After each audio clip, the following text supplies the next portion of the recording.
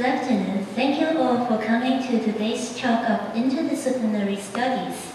I'm Amina, and we are very happy to have Dr. Catherine Ladds here to deliver her talk entitled Travel, Migration and Cross-Cultural Encounters in 19th and early 20th century China. Dr. Catherine Ladds received her bachelor and master degrees at the University of York, majoring in history. She pursued her PhD study at the University of Western under the supervision of the internationally renowned scholar Professor Robert Bickers. After receiving her PhD in 2007, Dr. Taught at Colorado State University from 2008 to 2012. In 2012, she joined the Hong Kong Baptist University as assistant professor in history. Also, she was the winner of the 2013 to 2014 Hong Kong Academy of Humanities First Book Prize. Dr. Ladds is a Amagatic scholar who specializes in the social, cultural, and political history of colonialism the Chinese treaty ports, global history, Asia-Europe relations from the 19th century to the first half of the 20th century, and history of its various communities. Now I shall pass the time to Dr. Ladds. Thank you. Thank you very much, Yatlo, for that very nice introduction, and thank you to the members of the audience for coming out here on this hot and rainy Saturday afternoon to listen to this lecture. Today I want to give a human history of the Treaty Port era. I want to give an idea of the very wide range of people for whom Treaty Port China spoke of opportunity. And in particular, I'm going to focus on settlers, sojourners, and migrants in the Treaty ports, considering their lives and experiences in China, the journeys that they made to get to China, and the reasons behind those journeys. And hopefully the examples that I'm going to give today will show that many of these so-called foreigners on the China coast were not really foreign to China at all. Instead, their lives were very deeply embedded in the cultural, political, and professional environment of the China coast. So I want to present an alternative history of the Treaty Port era, the time when China's major coastal and riverine ports were subject to an unprecedented degree of economic, political, and cultural influence from foreign powers. And when we learn about China's semi-colonial century, the focus tends to be first and foremost on the political and the military and the economic aspects of this history.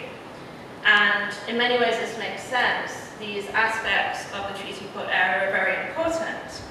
This era was initiated by the two intertwined forces of trade and of conflict. The conflicts between China and the West in the mid-19th century are credited with bringing about a seismic change in China's relations with the West and in hastening, hastening the decline of the imperial system in China.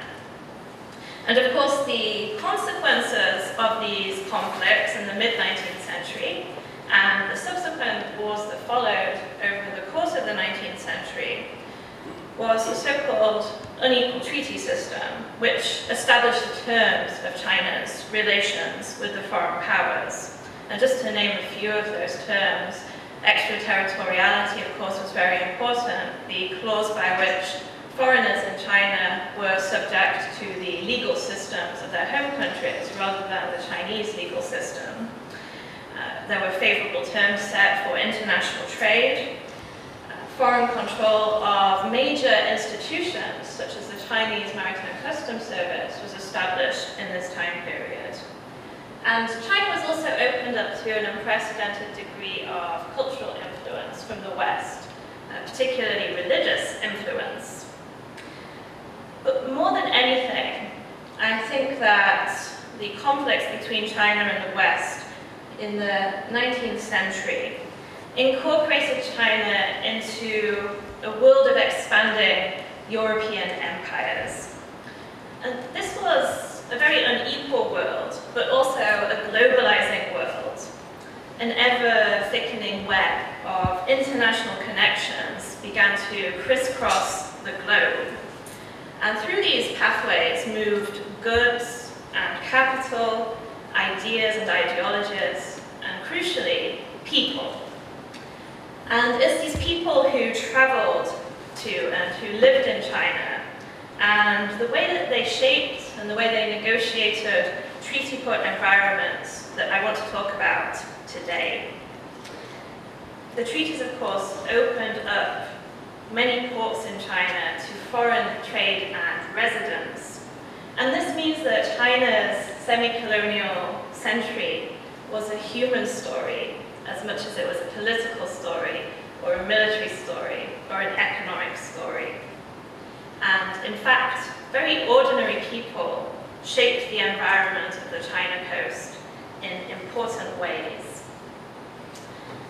I'm going to tell three different stories today, uh, the life stories of three different individuals who I think can tell us important things about this world of the China coast. Uh, the first person is an adventurer in the late 19th century. The second person is a fraudster or a petty criminal. And the third person I want to talk about is a collaborator, a person who collaborated with the Japanese puppet regimes in the 20th century. And together, I think that these different stories demonstrate several things. First of all, I think they highlight the very complicated identities of foreigners on the China coast during this era. And when we tend to think about foreign communities in China in the 20th century and the late 19th century, we tend to think first and foremost about the elite members of this society, the taipans, the, the heads of uh, big foreign trading houses who amassed a great deal of wealth and power and status from moving to China. And the history of these people is important, of course. But there's also a more hidden world, a world of people who were much more marginal, people who performed more menial or manual work, people who had a low status and often a low education. So people such as this man, William Ferguson, who was a lightkeeper in the Chinese Maritime Customs Service, which meant that he operated the lighthouses on the China coast. And he's pictured here with his family in this very charming photograph. Uh, this world is a world that's not often talked about.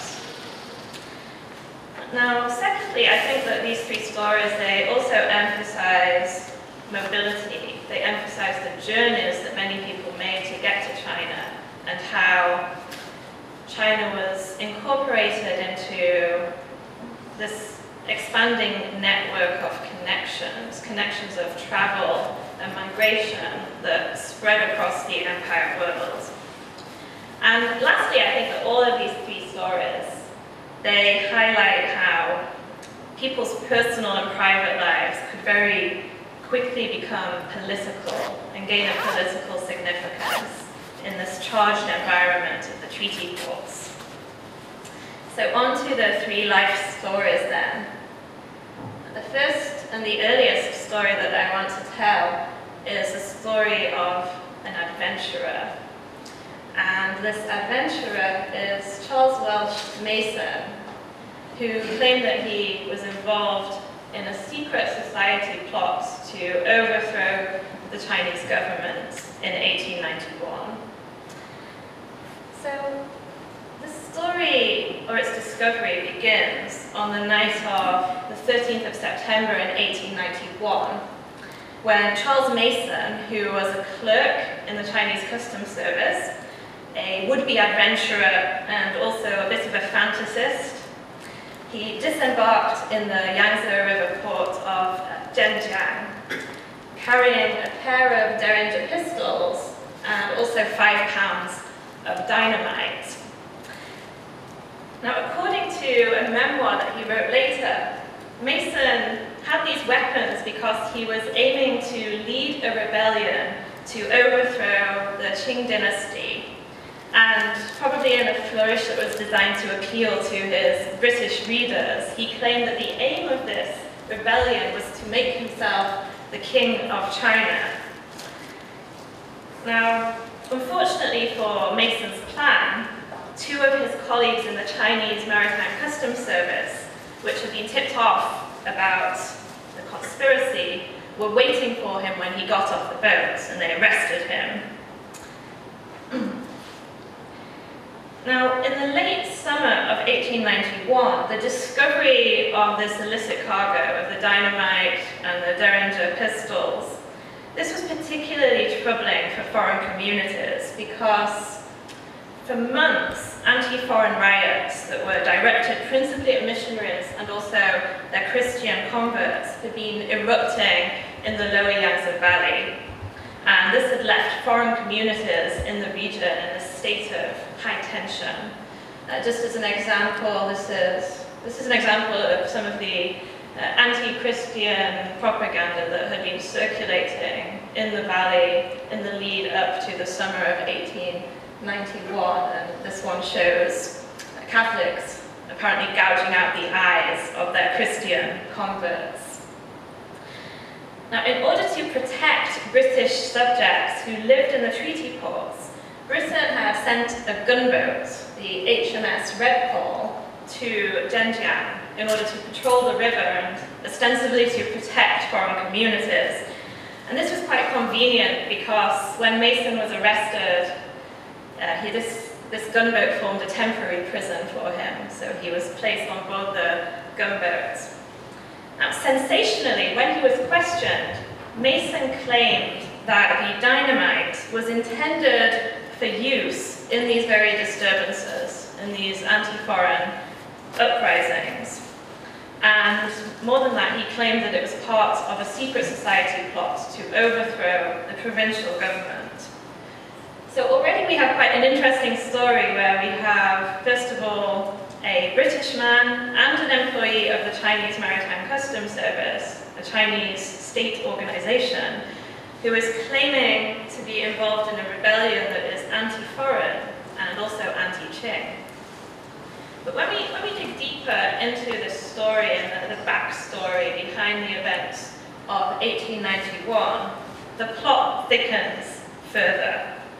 It becomes very unclear as to whether the secret society rebellion was real or whether it was simply a figment of Mason's very colourful imagination. So I want to just go back a few months, uh, before, a few years uh, in time to think about why Mason came to China and why he might have, have invented this secret society plot. We know that Mason came to China in 1887, four years before this event. And he moved there to become an administrator in the Chinese Maritime Customs Service, which at this point in time was controlled by the Foreign Inspector General, Sir Robert Hart. China and the Customs Service, they were still quite unusual destinations for middle-class British men who were looking for a career overseas. But the director of the Customs Service, Robert Hart, was, he was really trying to market the Customs Service as being a good overseas career opportunity that was very similar to colonial civil services, such as the Indian civil service. And Mason had taken this opportunity. When he arrived in China, he was stationed to the port of Zhenjiang, which is uh, a couple of hundred miles down the Yangtze River from Shanghai. And it probably wasn't quite what he had in mind when he imagined going to China. It was a relatively small port with a small foreign community, very, very different from the glamorous image of Shanghai that people often think about when they think about the treaty ports. And so he quickly became very bored in this environment. which may be one of the reasons why he invented the secret society plot in 1891. In the summer of 1891, he began to actually talk about his involvement in the secret society to some of his colleagues in the customs service, and he actually tried to recruit some of them to join his uprising. In particular, he tried to recruit his Chinese teacher to join the uprising. All members of the customs service in the 19th century, they were assigned a Chinese teacher in order to help them with their work. Um, but this, his teacher declined, declined the offer of joining the secret society very sensibly. Also, his boss in the customs service, the commissioner, discovered a notebook in which Mason had written an outline of the plot in a secret code. But despite all of this evidence, the Customs Service did nothing to try and stop Mason. Instead, they just assigned one of his colleagues to act as a spy and to keep track of his actions and his activities. In August of 1891, Mason decided to take action and he took some leave from his job and traveled to Hong Kong. And once he got to Hong Kong, he, the first thing he did was he bought a disguise. So he bought a false beard and glasses and a false nose. And he put on his disguise and then he went to a weapon shop and he placed an order for a very, very large supply of weapons, which included 100 Winchesters, uh, 20 Martini Henry rifles, and 221 bayonets, and 127 revolvers. And he bought this with his own money, with $3,600 of his own money. And he packed them all up and sent them to Shanghai, uh, purportedly for the rebellion that he was planning. And then after he arranged for this shipment, the next was he went to a boarding house and he recruited 20 out-of-work foreign sailors to uh, help him in the rebellion as mercenaries. And the ringleader of these sailors was a French-Canadian man who had previously worked as a policeman in the Shanghai Municipal Police. So these men, they were supposed to be the vanguard of the uprising, and they were supposed to accompany Mason to Shanghai but Mason's plan begins to unravel here because many of these sailors who he had recruited, they began to get very suspicious about his motives and many of them dropped out of the plan, which meant that only five of them actually traveled to Shanghai. The shipment of arms was intercepted in Shanghai, and when Mason traveled there two days later, he was arrested as he got off the boat. So this is, I think, an interesting story in and of itself, but one of the aspects of this story that I want to highlight is that it sparked a very serious diplomatic incident between Britain and the Chinese government. Now, from the British consular authorities' perspective, they didn't believe that the plot existed. Uh, the British consul in Shanghai said that this was just a figment of Mason's imagination. It was just a hallucination, as he put it. And that they, they insinuated that Mason was probably mentally ill, and that's why he came up with this idea of a secret society plot. But Chinese officials saw it very differently, because to them it was just inconceivable that somebody would falsely claim to be involved in a secret society plot because the penalty for being involved in an uprising is very, very severe. So the Chinese authorities began to press the British authorities to arrest and to prosecute Mason. And even the regional viceroy got involved in this, in this pressure. And eventually the British authorities, they caved under this pressure and they arrested Mason just after he'd finished his breakfast and was leaving the dining room in his hotel. But crucially, they did not arrest him on charges of rebellion, but on the charge of possessing dynamite, which was illegal under British law. So there followed this very highly publicized trial in the British court in Shanghai. And during the trial, Mason was given an opportunity to grandstand to the audience, to the jury, and he claimed that he had just got involved in the secret society plot so that he could learn more about it and then foil the plot and inform the Chinese authorities. But nonetheless, he was sentenced to nine months in prison, and he served his time in the consular prison in Shanghai. But the story doesn't end there because the Chinese authorities were, they were very, very angry at the sentence because it was only nine months. And so they began to contest the sentence.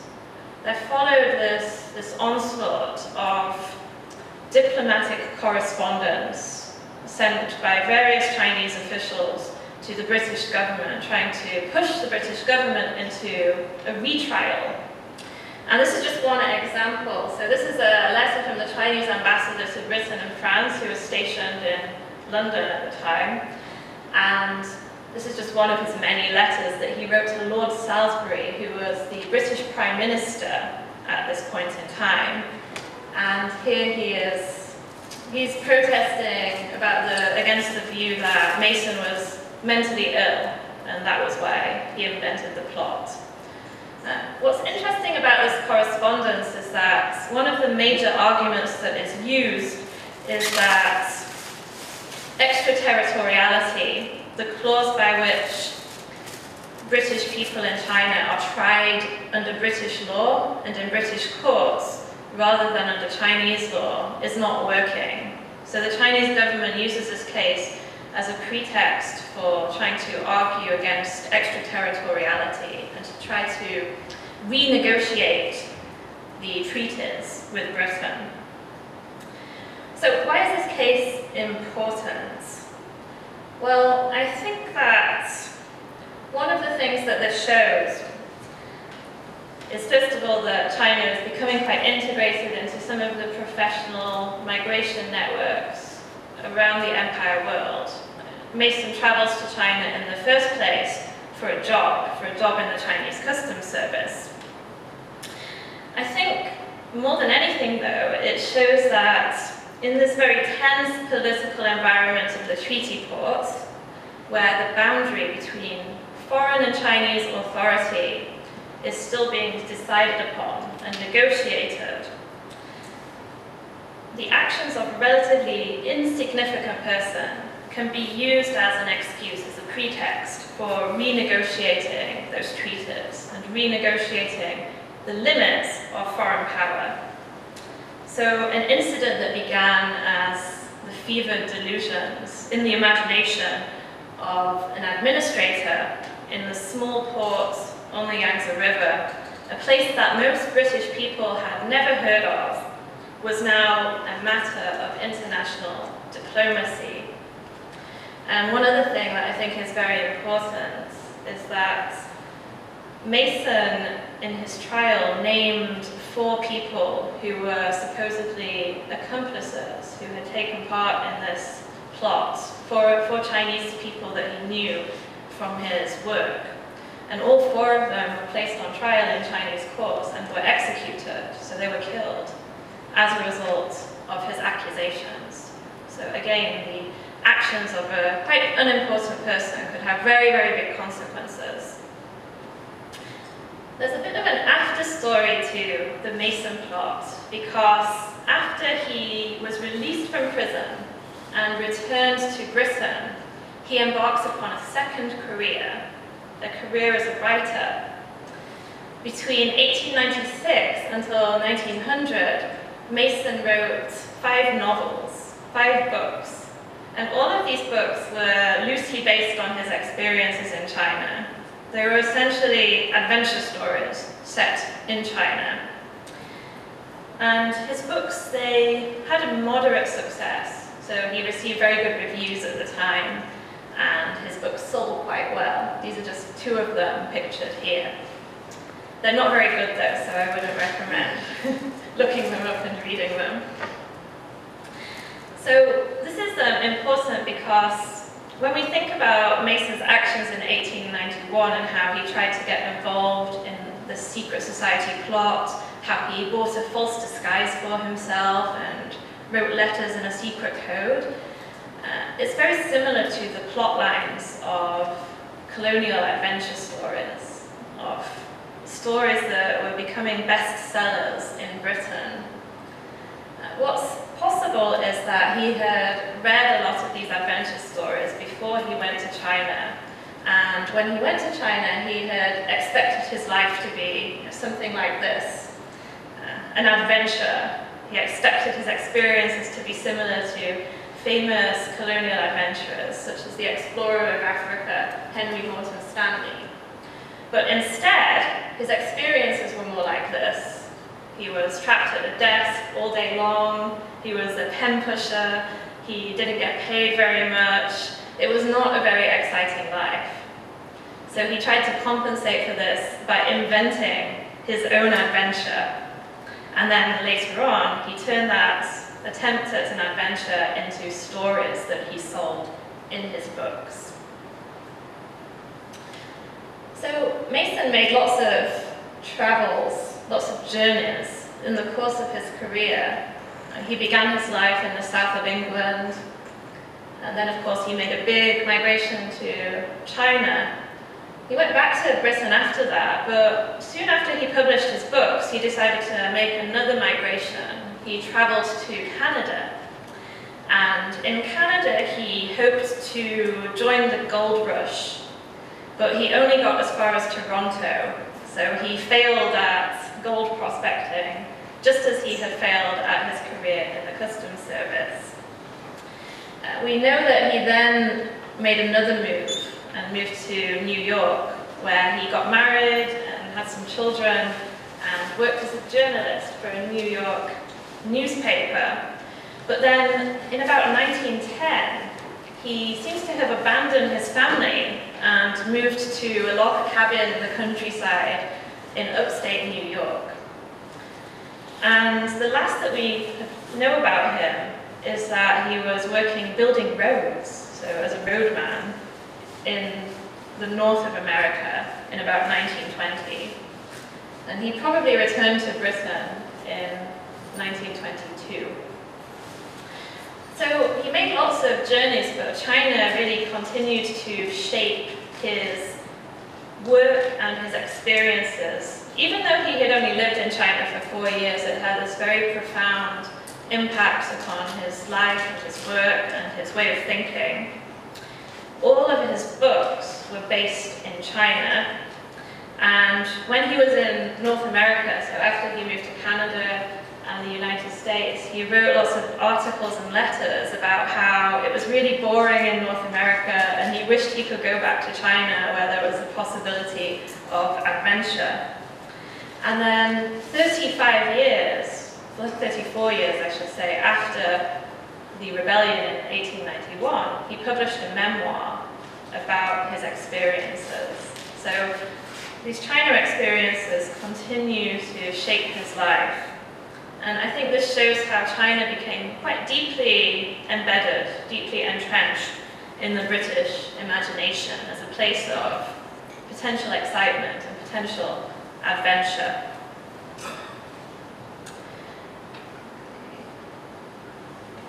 So on to the second life story. And this is a story of a woman named Edith Brentnall. And she could also be described as an adventurer as such. In fact, lots of newspaper reports from the time of her life described her as an adventurer. I've described her here as a fraudster, but it's probably a little bit unfair because most of her criminal activities are born out of desperation and out of the difficult circumstances of her life.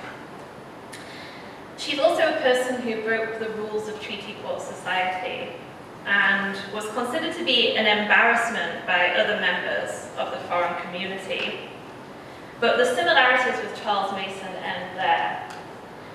Rather than being a sojourner, a person who spent a short time in China, Edith Brentnell was born and bred on the China coast. So she was born in China and was therefore very deeply embedded in the social networks that spanned the Chinese and the Japanese treaty ports.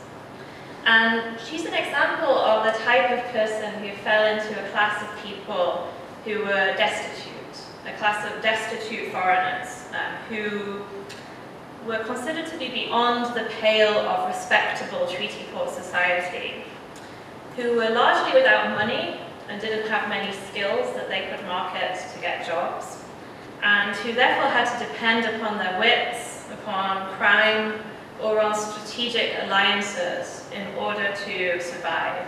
And in the case of women like Edith Brentnell, those alliances often meant marriage alliances or relationships with men who could help them. So I have called Edith Edith Brentnell, but it's worth noting she went by many different names. So sometimes she used the name Dorothea and sometimes Magdalene. She also had a lot of second names, so there are various names that she is known by in the documents. I've called her Brentnell here because this seems to be the one she used the most. But these are, I think it's an indication of just how flexible people's identities could be in the treaty ports.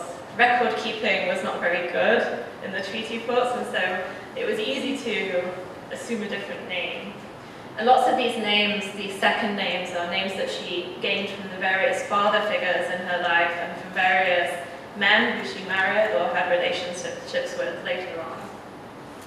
So let's start at the beginning with her birth. She was actually, she was born in Hong Kong in approximately 1893. I'm not sure exactly when she also changed her birth date quite a lot too.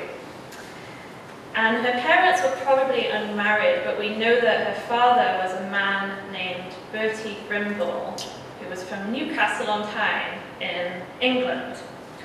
But he doesn't seem to have stuck around for very long because quite soon after her birth, Edith's mother married a, a man named Brentnell, who was also British. So this is why she, she mainly used this name, Brentnell. And then a bit later, her mother married a man named Detler, and he was an American, and so he registered Edith as his daughter at the American embassy. And later on, her mother also married a Danish man named Knudsen, who was working for Butterfield and Swire Company. Like many foreigners on the China coast who were born in China, she had a very limited education. She had only been to school for five years and therefore didn't have very many skills that she could sell in order to get a job. And so in March of 1909, when she was still only 15 years old, she married a person named Frederick Mann. So this is where her first married name comes from. And there are some suggestions she was forced into this marriage by her mother who wanted to get rid of the responsibility of looking after her. And just a year later, in 1910, she gave birth to a daughter named Constance.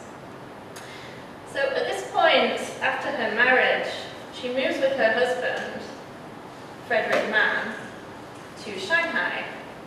And in Shanghai, Edith's husband, Frederick, starts working in a trading company called Brandt and Rogers. And the partner in this company is William Brandt. And William Brandt, he lends Edith and her husband some money because they're in quite difficult financial straits.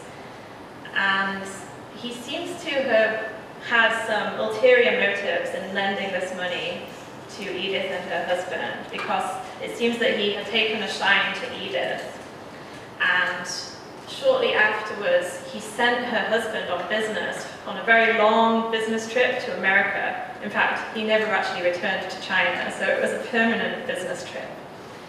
And after he sent her husband away, he moved in on Edith and told her that, according to Edith at least, that she had to become his mistress uh, because of the debt that she owed him. Otherwise, he would take her to court over the debt. And so she lived with William Brandt in Shanghai for seven years. The Brandt family, it's, it's worth taking a little bit of a diversion here because the Brandt family was also very interesting. They were also a multi-generational China Coast family. So this is a rough family tree. It's actually a much more complicated family tree than this, so I put the basics on this slide. Um, they were a Eurasian family, so a mixed race family.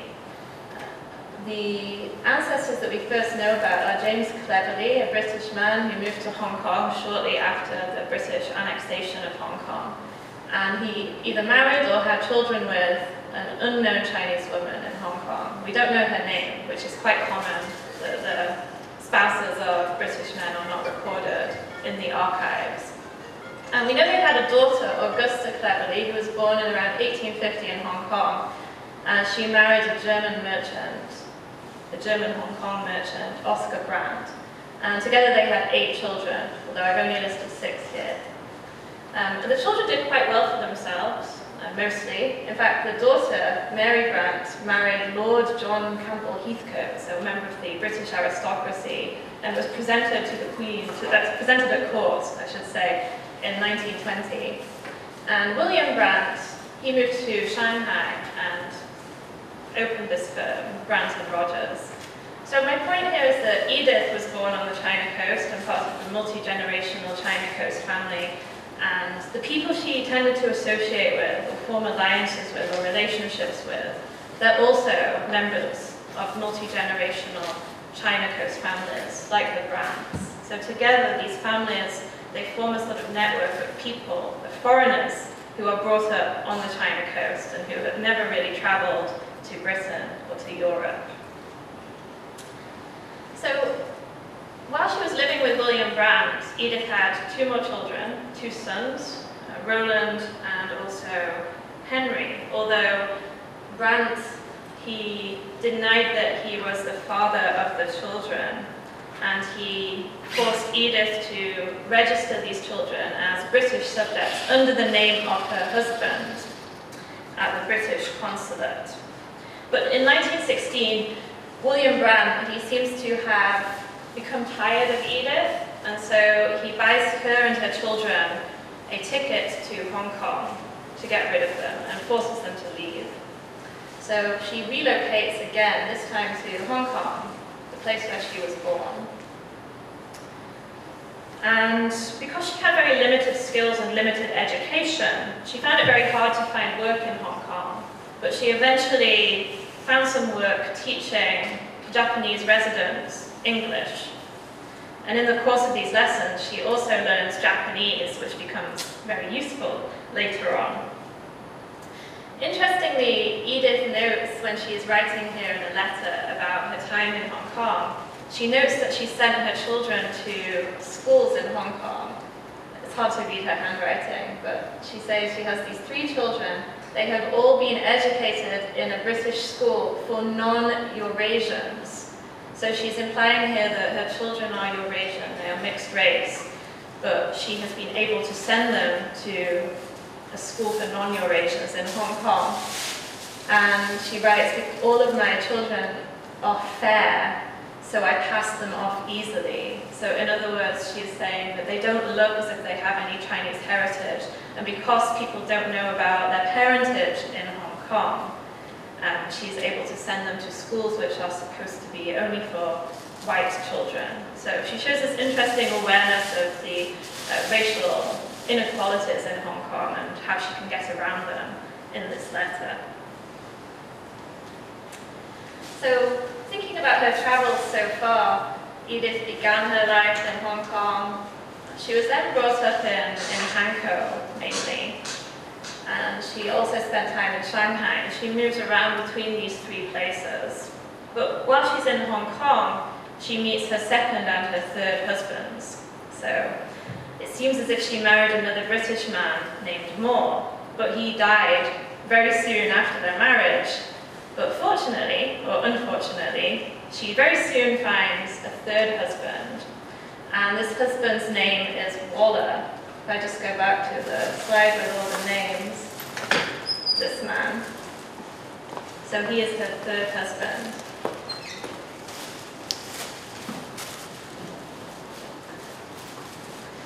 And together with him, they move to Japan. So again, she makes another journey, another migration. Whilst in Japan, Edith and her new husband, they travel around between various Japanese treaty ports, especially between Kobe and also Yokohama. And she's able to do this because she draws upon a network of family and friends in these places. She has a paternal uncle, the brother of her father, who lives in Kobe, and he gives them some assistance until he dies, and the assistance, the assistance stops. But things start to go very wrong for Edith while they're in Japan. Uh, firstly, her new husband becomes addicted to drugs, uh, as she describes him as a dope fiend. So he's addicted to morphia, or heroin, as we might say in the present day. And as a result, he starts spending all of their money and mistreating her and her children. And at the same time, it turns out that the Edith and her husband, they have been living for free in various hotels around Japan. So they would go to a hotel and they would stay in a hotel for a few weeks and they would eat there for free and then they would just run away and leave without paying the bill. So they had done this many times, so they were being pursued by the Japanese police for non-payment of their bill. And it's at this point that Edith starts to come to the attention of the consular authorities in Japan. And the consul, the British consul in Kobe, starts to get involved in her case and starts writing back and forth with the Shanghai consul about what to do with her. By January 1923, the Edith and her husband had been caught by the Japanese police and they were placed in prison for fraud and for embezzlement. Again, there's an interesting twist here with regard to Edith's children because it came to the attention of the British consul that Edith had apparently sold her daughter, Constance, to a Japanese cafe owner. And this had, this had caused quite a lot of consternation among the foreign community in Yokohama because the, the spectacle, the sight of a 12-year-old British girl working in a Japanese cafe, it had raised all these anxieties about white slavery and abuse and so forth. So at this point, the British consul gets involved and he arranges to take Edith's children away from her and to send them back to Shanghai and put them in the care of a Catholic orphanage. And this happens in January 1924.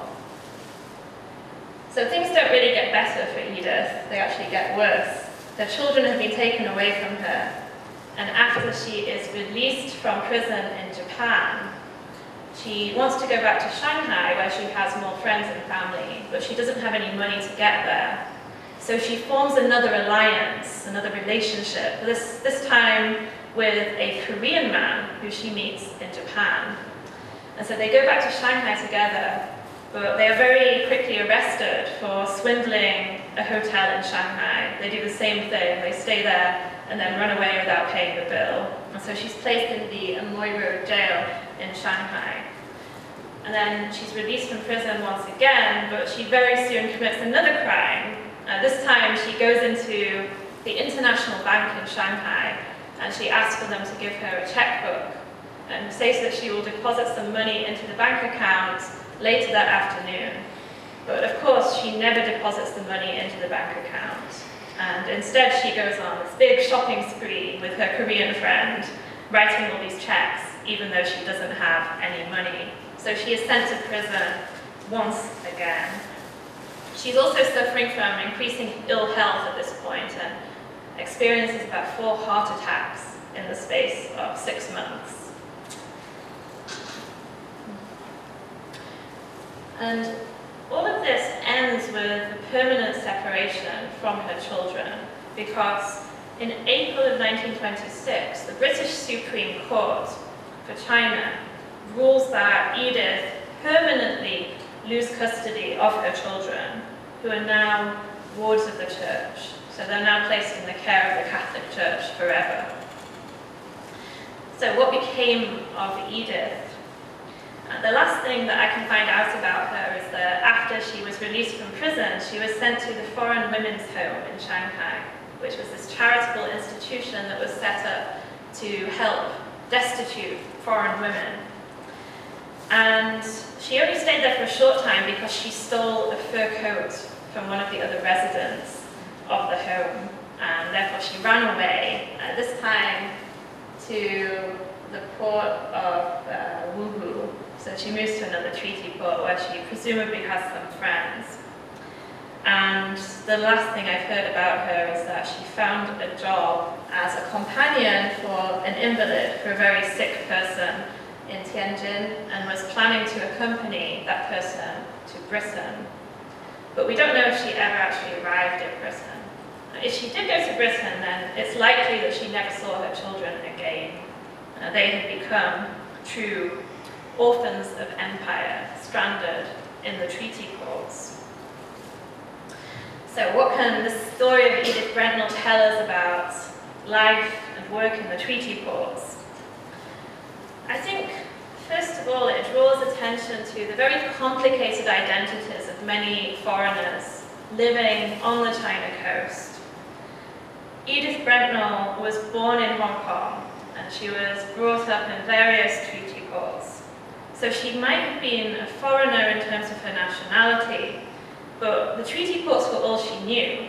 She had never traveled to Britain or even outside of this uh, arena of the Chinese and Japanese treaty ports. And she's very deeply embedded in the personal and family networks of these port cities. She draws upon the help of her uncle in Kobe in Japan. Uh, she draws upon the help of the various men that she marries or forms relationships with and also on a vast range of family friends who I didn't mention in this brief summary. So she uses these connections to constantly move around between the treaty ports.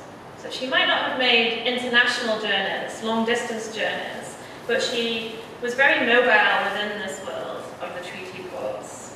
They form this integrated zone of opportunity for marriage and work and crime for women like Edith. I also think that the multiple identities that she assumes throughout her life, they can highlight the very cosmopolitan nature of the treaty ports. The people that she associated with had multiple nationalities. They were German, British, American, Japanese, and Korean, and sometimes an uncertain mixture of many of those things. And Edith herself claimed to be either British or American at different points in her life. Uh, and partly this was to avoid prosecution and arrest, but it was also uh, partly, uh, partly it also shows that she was very genuinely confused about her own national identity. And secondly, I think that Edith Brentnell's life story, and particularly the story of her children, it tells us something about this perceived problem of children and childhood among foreign communities in China. Edith's children were very forcibly taken away from her by the British authorities. And although she wrote to inquire about them, she never saw them again, probably. And this very extreme action, it speaks to this growing worry, a growing anxiety among the foreign elite in the treaty ports about people who were born in China, about the second and third generation China-born foreigners. There was a great stigma attached to this population. They were considered to be, um, to not fit in with respectable society. And central to this concern was the idea that children could be very easily corrupted by the cosmopolitan environment of the treaty ports that they would have too much contact with Chinese culture, but also with the immorality of the treaty ports like Shanghai. And because they had no contact with the British environment, they didn't properly know their nationality. And these people, they also had very few skills and often a low education, and so they were considered to be embarrassing by treaty port elites. And as a result, what we see is that in the early 20th century, children who are born in China, especially mixed race children, are increasingly institutionalized. So they're placed in the care of orphanages, like the Catholic orphanages I mentioned, or in boarding schools, such as uh, the Thomas Hanbury School, which was originally established for Eurasian or mixed race children in Shanghai.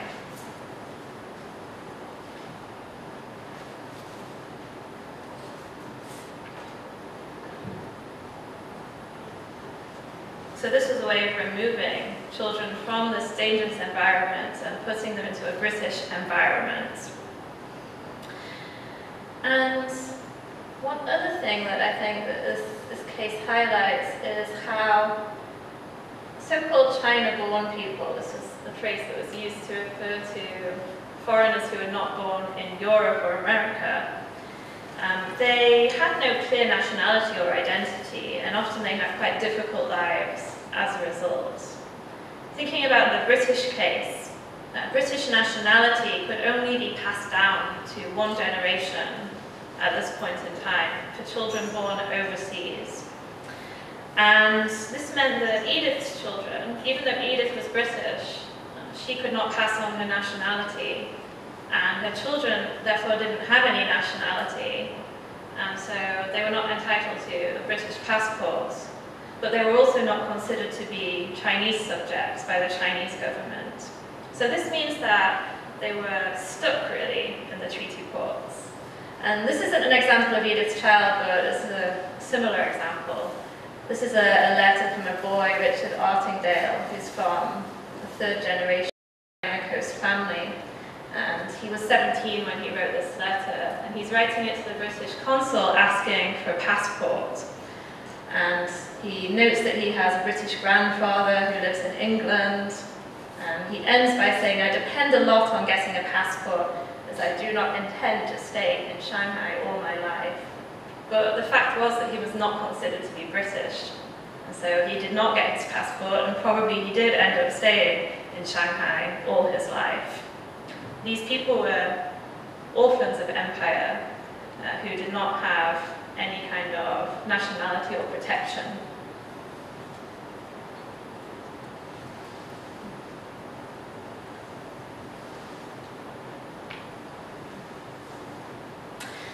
Okay, so the third and the final story I want to tell is perhaps the most dramatic in a way. And this is a story of a collaborator, Lawrence Klindt Kentwell. And he was a lawyer, he was a revolutionary, he was a collaborationist, and just an all-round notorious person. And I think the Kentwell's life story, it raises several questions. Firstly, it emphasizes the very complicated identities of Eurasians, of mixed-race people in China and the British Empire. And it also emphasizes China's integration into global networks of travel, education, and professional migration. So again, I want to go through his life story to illustrate these points. Kentwell, like many of the people I've mentioned, he was born in Hong Kong. Um, his birthday is often, I've seen it referenced as being in 1876 or in 1882, but I think 1876 is the most likely date um, especially because he had a younger brother who was apparently born in 1881. and his beginnings were quite inauspicious. He was born on a boat in Victoria Harbour, just out there behind this building, and his father was British and the captain of the boat on which he was born. And his mother was Chinese, but again we don't know her name because the names of Chinese women who were married to British men are usually not recorded in the archives. Now, it seems as if his father either left Hong Kong or died a few years after his birth because at some point in the 1880s, the Kentwell brothers and their mother emigrated to Hawaii and they moved to Honolulu. It's probable that his mother married an American and therefore moved to Hawaii. And in Honolulu, Kentwell seems to have lived a fairly privileged life. He very clearly identified as being British in this time period, so he didn't seem to reference his Chinese heritage very much. He attended Oahu College in Honolulu, which was an elite college at this point in time. Actually, this is the college that Barack Obama attended, so there's a nice connection there to contemporary politics.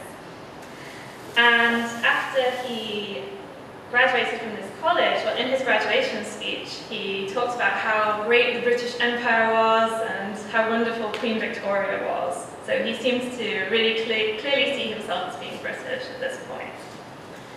Uh, he then worked as a real estate broker, and in 1901 he got married, and he married a woman named Annie Kailakanoa Holt. Uh, she was from a very prominent native Hawaiian family, so the family were partly British, partly uh, native Pacific Islander. And I couldn't find a photo of her, so here's a photo of her father, the man seated in the middle, Colonel John D. Holt, who was one of the, the members of Queen Liliuokalani's staff. She was the, Queen of Hawaii until the American annexation in 1898.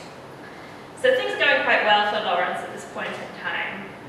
But the issue of his Chinese heritage began to rear its head when he tried to run for political office in 1902. And his opponents claimed that he had obtained his American citizenship fraudulently because this was the time of the Chinese exclusion laws in North America, the laws introduced in 1882, which made it almost impossible for Chinese migrants to gain American citizenship. At this point, he also began traveling very widely, and in the course of these travels, he began to become more aware. He experienced a sort of racial awakening or epiphany. And this was because in the course of his journeys, it became very apparent that Kentwell's mixed race Eurasian identity and his ability to culturally cross between the overseas Chinese community in Hawaii and the upper middle class white community could both ease and also obstruct his journeys. So just to recap, he's already made a, quite a big migration from Hong Kong to Honolulu. But then in the first few years of the 20th century, he makes a lot of other journeys. He goes back to Asia, to Manila, to Singapore. He also goes to London. Uh, he probably stops off at various other places along the way. And he comes back to Honolulu via New York. And later on he claims that he was actually working as Sun Yat-sen's secretary, and that's why he made all these journeys. But I'm, I'm still not sure whether that's true or whether it's something that he made up to make himself seem more important as possible. now, again, this was the time of the Chinese exclusion laws in America, which barred Chinese immigration. And so during the course of these journeys, um, Lawrence Kentwell, he increasingly, increasingly came across these barriers to Chinese immigration. He noted that when he traveled to New York in a first-class cabin and wearing a Western-style suit with a British passport and speaking with his American accent, he could quite easily get through the immigration checkpoints. The immigration officers thought he was European, but when he traveled to his hometown of Honolulu, where his associations with the Chinese community were well known, he had a lot of hassle, a lot of trouble getting into the city. And he commented that he was treated like a common criminal and humiliated and questioned in front of his fellow passengers. And so this sparked a year-long long campaign where he wrote to the Department of Labor in America trying to appeal against the Chinese exclusion laws, but of course it didn't work. He then also began traveling for his education. So he went to Columbia University in New York where he studied for a law degree. And then later on, he studied for another law degree, this time at Oxford University. And he seems to have done quite well in Oxfordshire and practiced as a lawyer for several years after he gained his degree. And then in 1916, he made his final big migration, this time back to Shanghai. And I should also note that by this point, Lawrence Kentwell has six children with his wife, and they're pictured here in this charming picture that I recently obtained from uh, Lawrence Kentwell's great niece. So, oh no, I'm sorry, not from his niece, from his granddaughter. So he had one son. Uh, this is a little boy, not a girl, as you might think. And his son has several children, and I've recently been in contact with one of those children who has given me some of these very nice family photographs to use. His family relocated with him to Shanghai. And in Shanghai, he seems to have done very well for a few years. He worked as a lawyer at the British Supreme Court. And he was seemingly, on the surface, a established member of the elite treaty port British community. But privately, he was becoming increasingly aware of the racism of treaty port society.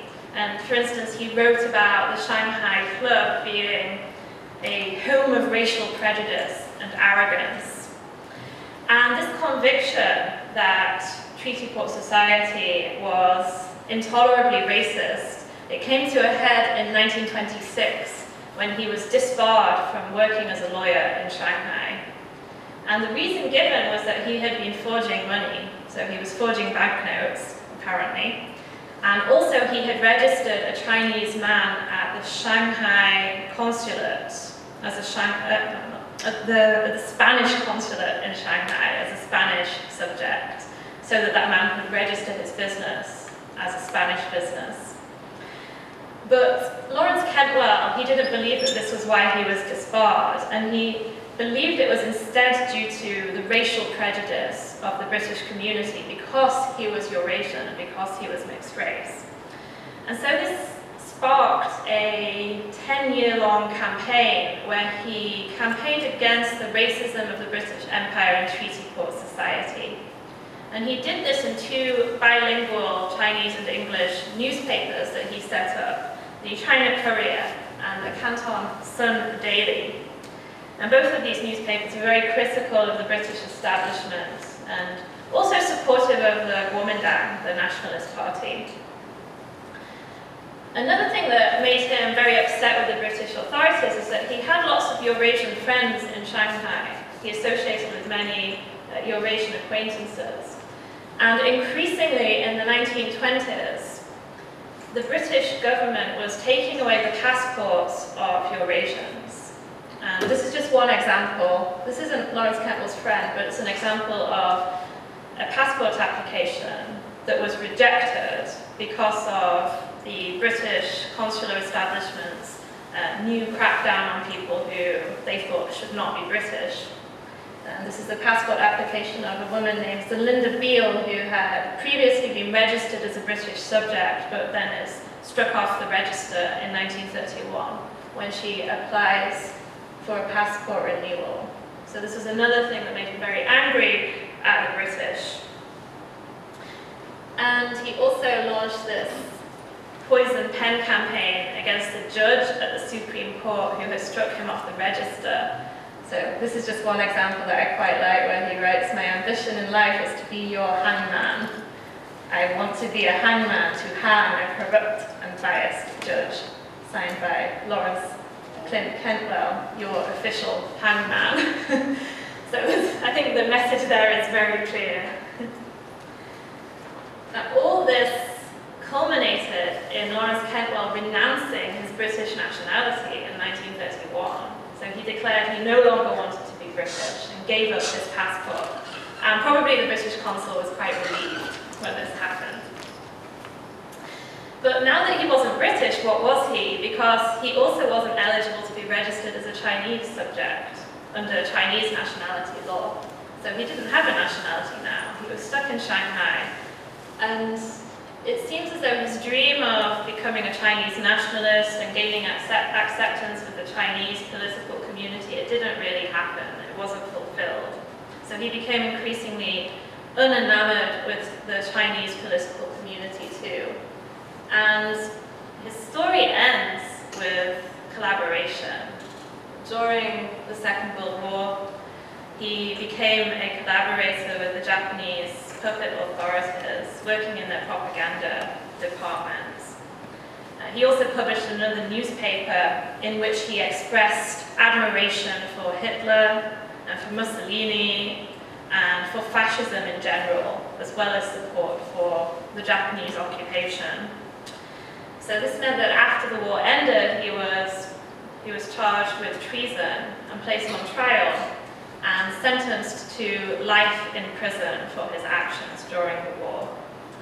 And the last thing that we know of with Lawrence Kentwell is a newspaper report in the Chinese press in 1946, where he is making an appeal to be released on medical grounds because he has some sort of a brain disease. And it's probable that he died just a few months after this appeal in prison. So he had a very dishonorable end in many ways, but it's worth noting that his children actually did very well. They don't seem to have suffered from the taint of their father's collaboration. And in fact, I recently realized that his son, Larry Holt Kentwell, he's the, the little boy, the smallest child on the picture I showed you, he actually had a very illustrious career in the Foreign Service and the Colonial Service, and he ended his career in Hong Kong as the Deputy Director of the Social Welfare Department in 1971. Uh, so in many ways the family came full circle, starting in Hong Kong and making all these journeys. Uh, first to Hawaii, and then to New York, to England, and then of course he made many other journeys to lots of other places in between, but they ended up back in Hong Kong so what does Kentwell's story tell us about the treaty ports? Well, once again, it shows us how China is integrated into these networks of professional opportunity and education and migration. But also, it tells us, I think, about some of the prejudices and the privileges that accompanied a mixed-race Eurasian identity. Kentwell was a very confident person, and he was also very wealthy, and so he was able to sometimes get around barriers to Chinese immigration in the United States and in other places. But he also increasingly faced problems when he was making these journeys. He came up against immigration officials who would not let him in the country. Um, in America, this was because of his Chinese heritage, but when he traveled to other parts of the British Empire, like Singapore, he was increasingly barred from entering. He was on the blacklist because of his anti-British propaganda. So his journeys are more and more constricted. And again, it shows how many Eurasians in the treaty port world, they had very complicated identities. And this cosmopolitan world enabled them to test out different identities. Lawrence Kentwell began his life as a British subject, and then he tried to be an American, but he failed at being an American. So then he tried to become Chinese, but this failed too. So he ended his life collaborating with the Japanese, partly as a result. Eurasia was never quite fit within this society. So some brief conclusions, bringing together these three quite different stories. I think I can draw some, some general points from them. Uh, firstly, I think that these stories, they tell us about the mobility and immobility of different types of people in the treaty ports. On the one hand, the China coast was integrated into all of these networks of travel and migration and work, and so many of the people who lived there were very mobile. They made these quite big journeys at a time when travel was not very easy. But also people are increasingly becoming immobile because of changes in nationality laws and changes in the availability of passports and new barriers to immigration. I think it also raises questions about who exactly was a foreigner on the China coast, because, as hopefully will be clear, many of the members of the foreign community, they were born in the world of the China coast. They often never travel to other places. So in a way, they are natives of China, just different, and they have a different cultural experience. I think it also raises questions about the success and failure of different foreigners on the China coast. Because often when we think about foreign communities, we think about tales of success and of gaining a lot of wealth and a higher status. And those stories are, of course, very true, but also there are other stories of people who tried and failed to exploit these opportunities of the treaty ports. And very lastly, I think these three stories tell us how, in this charged environment of the treaty ports, the personal and private lives, they can very, very easily become political. So I hope you enjoyed hearing about these three stories and uh, thank you again for listening to the lecture and I'm happy to answer any questions that you have about the people that I've discussed or other aspects of treaty port history. Thank you.